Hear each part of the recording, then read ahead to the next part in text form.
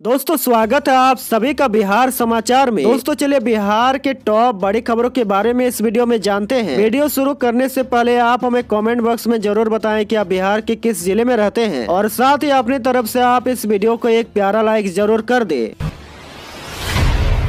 आज की सबसे पहली खबर कांग्रेस ने जारी की आठ उम्मीदवारों की पहले लिस्ट। जानिए किस प्रत्याशियों को कहाँ से मिला टिकट? बिहार विधान परिषद चुनाव के लिए कांग्रेस ने आठ उम्मीदवारों की घोषणा कर दी है। कांग्रेस अध्यक्ष सोनिया गांधी की स्वीकृति मिलने के बाद शनिवार को उम्मीदवारों की पहली सूची पार्टी के राष्ट्रीय महासचिव मुकिल वासनिक ने जारी की है। इन उम्मीदवारों में कटिहार से सुनील कुमार यादव, पश्चिमी चंपारण से अफाक अहमद मधुबनी से सुबोध मंडल बेगूसराय से राजीव कुमार, सीतामढ़ी से शिवर से नूरी मेगम सिवान से अशोक कुमार सिंह, मुजफ्फरपुर से अजय कुमार यादव और सारण से सुशांत सिंह कुमार शामिल है।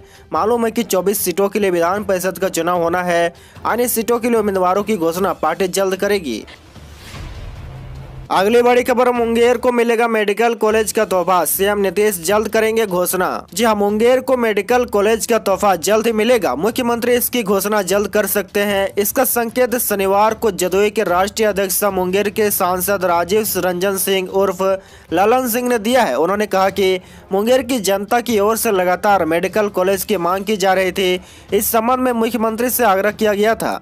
उनसे मुंगेर में मेडिकल कॉलेज की स्थापना को लेकर सकारात्मक वार्ता हुई है। मेडिकल कॉलेज की स्थापना का मामला मुख्यमंत्री नीतीश कुमार के विचाराधीन है। उन्होंने मुख्यमंत्री को संवेदनशील बताते हुए यह संकेत दिया है कि मुंगेर में मेडिकल कॉलेज की घोषणा जल्द हो सकती है। अगली बड़ी खबर, भागलपुर बम ब्लास्ट में बड़ा खुलासा। सब बारात से पहले देसी बम की बड़ी खेप हो रही थी तैयार। पुलिस को मकान मालिक की है तलाश। जी हाँ भागलपुर बम ब्लास्ट में पुलिस की प्रारंभिक जाँच में बड़ा खुलासा हुआ है। यहाँ देसी बम की एक बड़ी खेप तैयार की जा रही थी। ये तैयारी सब बारात से ठीक पहले की थी। इस ब्लास्ट में दो लोगों का नाम सामने आ रहा है, एक लीलावती और दूसरे मकान मालिक मोहम्मद आज़ाद आलम। धमाके में जहाँ लीलावती के पूरे परिवार की लीला समाप्त हो गई तो वह आज़ाद फरार है। मौके से भारी मात्रा में बारूद और लोहे की कील मिली है। बारूद पश्चिम बंगाल और झारखंड से आता था। मामले की एटीएस और एसआईटी जाँच कर रही है। नक्सली कनेक्शन की जाँच भी की जा रही है। पुलिस इसकी तलाश में लगातार छापेमारी कर रही है। आपको बता दें कि भागलपुर के दो थाने, तातरपुर और कोतावली के बीच बसा एक कजवली चौक है। घना आबादी वाले कजवली चौक के बीचों बीच एक तीन मंजिला मकान है, जिसमें मोहम्मद आज़ाद का मकान है। इस मकान में लीलावती देवी अपने परिवार वालों के साथ रहती थी। पहले यह मकान लीलावती का था और आज़ाद इसमें दुकान चलाता था, दस साल पहले आज़ाद ने यह मकान लीलावती से खरीदा था। लीलावती का पूरा परिवार पटाखा बनाने का काम करता था, इसलिए आज़ाद ने परिवार को बड़ा काम दे दिया था। साथ ही पुलिस की जाँच में यह खुलासा हुआ कि लोगों की नज़रों में धूल झोंकने के लिए यहाँ दिन में वेल्डिंग और ग्रिल बनाने के साथ डिस्पोजल कप प्लेट का कारोबार किया जाता था। अगली बड़ी खबर, बिहार में दारोगा बहाली के लिए मुख्य परीक्षा की तिथि जारी। अड़तालीस हज़ार उम्मीदवारों के भविष्य का होगा फैसला। जहाँ बिहार पुलिस के अधीन पुलिस अवर निरीक्षक एवं सार्जेंट अवर निरीक्षक के खाली पदों पर भर्ती के लिए मुख्य परीक्षा की तिथि का ऐलान बिहार पुलिस अवर सेवा आयोग की ओर से कर दिया गया है। आयोग ने कुछ ही हफ़्ते पहले इन पदों के लिए प्रारंभिक परीक्षा का परिणाम जारी किया था। पीटी में सफल अभ्यर्थियों के लिए चौबीस अप्रैल को मुख्य परीक्षा होगी। इस बाबत बिहार पुलिस अवर सेवा आयोग के विशेष कार्य पदाधिकारी ने अधिसूचना जारी कर कर दी है। अगली बड़ी खबर, केंद्रों पर मैट्रिक की उत्तर पुस्तिकाओं का मूल्यांकन शुरू। 17 मार्च तक जांची जाएगी कॉपियाँ। जी बिहार विद्यालय परीक्षा समिति पटना के मैट्रिक बोर्ड परीक्षा 2022 के उत्तर पुस्तिकाओं का मूल्यांकन ज़िले के तीन केंद्रों पर शनिवार से शुरू कर दिया गया है। मूल्यांकन के लिए राज्य संपोषित बालिका उच्च विद्यालय श्रीमती उदासी देवी प्लस टू स्कूल और Atal Bihari Singh plus two school को केंद्र बनाया गया है। ज़िले में अंग्रेज़ी विज्ञान, संगीत, अर्थशास्त्र, गणित, सामाजिक विज्ञान, हिंदी, संस्कृत उर्दू विषय की कॉपियों का मूल्यांकन परीक्षकों द्वारा किया जा रहा है। परीक्षकों के मूल्यांकन के बाद प्रतिनियुक्त किए गए एमपीपी मिले प्राप्तांक को बिहार विद्यालय परिषद समिति के पोर्टल पर ऑनलाइन कर रहे हैं। वही केंद्र अधीक्षकों ने बताया कि 17 मार्च तक मूल्यांकन कार्य चलेगा। मैट्रिक बोर्ड परीक्षाओं की कॉपियों को मूल्यांकन के लिए शुक्रवार को परीक्षकों और एमपीपी को योगदान करने का निर्देश दिया गया था। हालाँकि बहुत से परीक्षक और एमपीपी ने शुक्रवार को योगदान कर लिया था, लेकिन कुछ परीक्षक और एमपीपी शनिवार को योगदान किए हैं। अगली बड़ी खबर, राजधानी पटना के तेवर सबसे ज़्यादा गर्म, औरंगाबाद में मौसम रहा ठंडा, सेहत का रखे खास ख्याल। जी हाँ राजधानी के अधिकतम तापमान में शुक्रवार को सामान्य से दो डिग्री की वृद्धि दर्ज की गई है, इकतीस दशमलव चार डिग्री सेल्सियस के साथ पटना प्रदेश का सबसे गर्म शहर रहा, जबकि न्यूनतम तापमान चौदह दशमलव चार डिग्री दर्ज किया गया, वहीं सबसे कम औरंगाबाद का न्यूनतम तापमान ग्यारह दशमलव नौ डिग्री सेल्सियस दर्ज किया गया। मौसम वैज्ञानिक की माने तो प्रदेश में पचवा हवा सतह से एक दशमलव पाँच किलोमीटर ऊपर इसका प्रभाव बना हुआ है। इसके कारण मौसम में बदलाव की स्थिति बनी हुई है।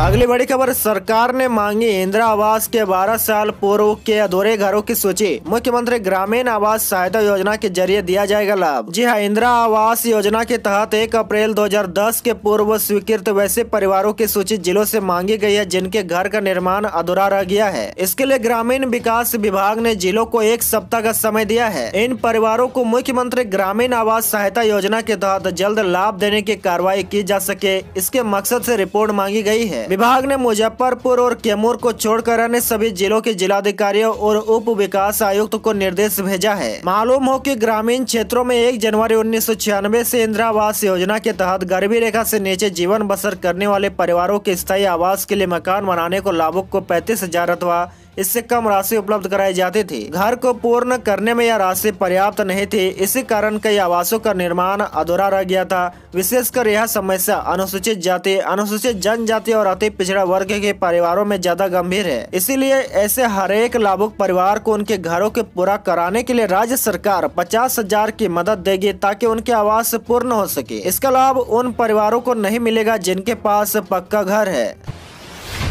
अगली बड़ी खबर, शहर में 50 स्मार्ट पार्किंग बनाने की कवायद शुरू। अप्रैल से राजधानी में वाहन पार्किंग की बुकिंग कर सकेंगे ऑनलाइन। शुल्क भी बढ़ना पक्का। यह प्रदेश में पहली बार पटना नगर निगम क्षेत्र में रहने वाले लोगों को स्मार्ट पार्किंग की सुविधा मिलेगी। घर से निकलने से पहले अपने वाहनों के लिए ऑनलाइन पार्किंग बुक कर सकेंगे। पटना नगर निगम की वेबसाइट पर स्मार्ट पार्किंग का लिंक रहेगा। इसके अलावा एजेंसी भी स्मार्ट पार्किंग के लिए वेबसाइट बनाएगी।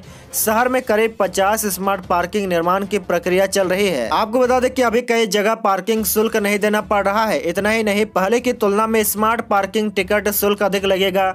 उदाहरण के लिए, पहले फोर व्हीलर का पार्किंग शुल्क पच्चीस से तीस रुपये था। अब नई सुविधा में चालीस से पचास रुपये लग सकता है। इसी तरह टू व्हीलर पहले दस रुपये था, जो अब पच्चीस से बीस रुपये तक लग सकता है। अगली बड़ी खबर, बिहार बोर्ड का इंटर रिज़ल्ट, तीन दिन में होगा तैयार। जहाँ बिहार विद्यालय परीक्षा समिति यानी बिहार बोर्ड की ओर से इंटर की परीक्षाओं का रिज़ल्ट जल्दी जारी करने को लेकर कवायद तेज कर दी गई है। आपको बता दें कि राज्य बोर्ड की ओर से इंटर रिज़ल्ट पूरा करने की दिशा में लगभग आधा काम पूरा हो चुका है। उम्मीद जताई जा रही है की राज्य बोर्ड की ओर से इसी महीने इंटर परीक्षा का रिज़ल्ट जारी कर दिया जाएगा। इसके अलावा मैट्रिक परीक्षा का रिज़ल्ट इसी महीने के आखिर तक या अप्रैल महीने की शुरुआत में जारी होने की उम्मीद जताई जा रही है।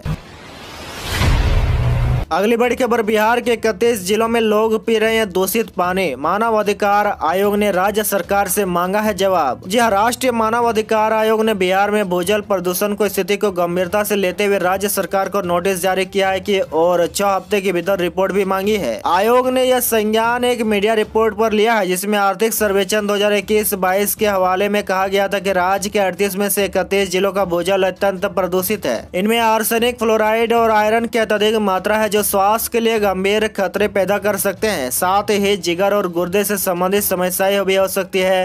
रिपोर्ट के मुताबिक इन सभी जिलों के खासकर ग्रामीण इलाकों में ज़्यादा प्रभावित है। आयोग ने कहा कि अगर यह रिपोर्ट सही है तो मानव अधिकारों के उल्लंघन का गंभीर मामला है। इसके लिए आयोग की ओर से मुख्य सचिव, लोक स्वास्थ्य यांत्रिकी एवं राज्य सरकार को नोटिस जारी कर जवाब मांगा गया है।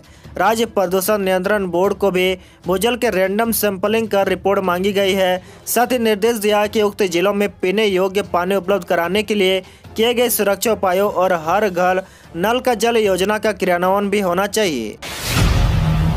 बड़ी खबर रेल मंत्री का बड़ा बयान, जल समाधान का अधिसूचित किया जाएगा। जी हाँ रेलवे बोर्ड की ओर से नॉन टेक्निकल पॉपुलर कैटेगरी यानी कि एनटीपीसी परीक्षा में कथित अनियमितता को लेकर अभ्यर्थियों द्वारा की गई शिकायतों की जाँच करने के लिए गठित उच्च अधिकार प्राप्त समिति द्वारा रिपोर्ट सुबह जाने के एक दिन बाद शनिवार को रेल मंत्री अश्विनी वैष्णव ने कहा कि समाधान को जल्द अधिसूचित किया जाएगा। समिति को चार मार्च तक रिपोर्ट देने को कहा गया था। उत्तर प्रदेश और बिहार में रेलवे भर्ती बोर्ड की एनटीपीसी परीक्षा 2021 को लेकर बड़े पैमाने पर विरोध प्रदर्शन हुए थे। रेल मंत्री ने ट्वीट करके बताया कि उच्च अधिकार प्राप्त समिति को करीब तीन लाख अभिवेदन मिले, जिनका विश्लेषण कुछ दिन में ही कर लिया गया और कुछ दिन में आर समाधान अधिसूचित करेंगे।